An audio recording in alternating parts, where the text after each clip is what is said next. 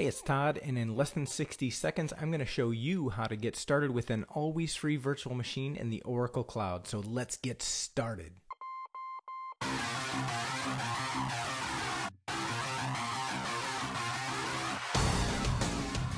To get started with your always free VM, click Create a VM instance.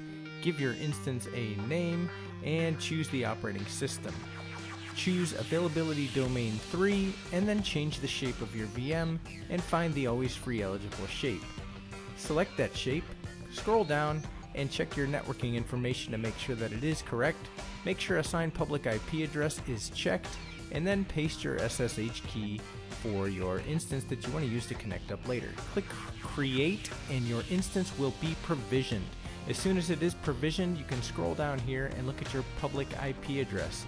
This IP address is what you can use to SSH into your always free VM using the username OPC and the SSH key that you used when provisioning.